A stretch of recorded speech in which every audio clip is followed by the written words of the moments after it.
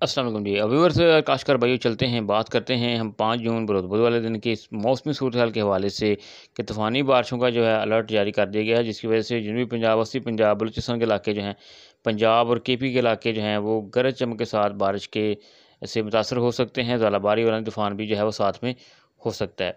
تو بات کرتے ہیں ہم۔ اگر صبح کے ٹائم کی بات کریں، صبح کے ٹائم جو شمالہ کا جات ہیں کہ کے پی کے علاقے جو ہیں منگورہ ہے۔ اس کے علاوہ چترال، دیر، کلام، سواد، پنڈی کے علاقے جو ہیں، پشاور کے علاقے پارا چنار وغیرہ جو ہے، بنو کوہاٹ وغیرہ تک جو ہے یہ سلسلہ پھیل جائے گا۔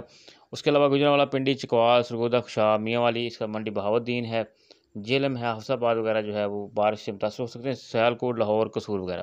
اگر ہم رات کی بات کریں، دوپہر سے کے بعد جو ہے رات کی بات کریں، تو دوپہر تک یہ سلسلہ جو ہوگا، یہ آگے بڑھتا ہوا رات کے وقت جو ہے، یہ فیصلہ آباد جڑا والا، جھنگ، گوجرا، بھائی پھیرو اس کے بعد پاک پتن ہے، بھاول نگر، بھاول پور ڈویژن حویلی لکھا، پتوں کی بھائی پھیرو اور جنوبی پنجاب کے علاقوں میں جو ہے وہ داخل ہوگا۔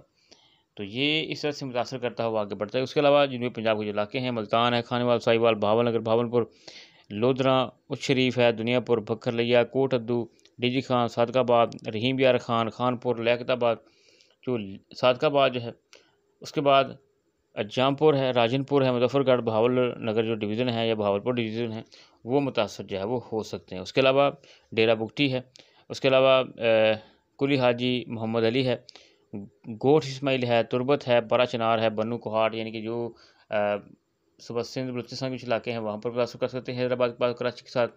تو یہ صورتحال ہے جی آئندہ چوبیس گھنٹوں کی کہ وسطی پنجاب، بلائی پنجاب، جنوبی پنجاب کے علاقے جو ہیں وہ متاثر ہونے کا خدشہ ہے جی۔ جس کے ساتھ ساتھ آندھی طوفان اور بارش کا جو ہے وہ امکان ہے۔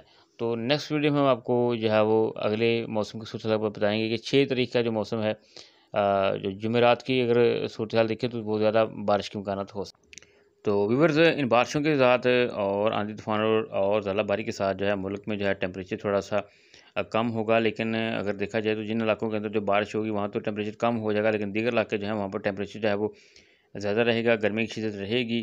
ابھی فی الحال جو ہے موسم جو ہے وہ گرم اور خشک رہنے کے امکانات ہیں۔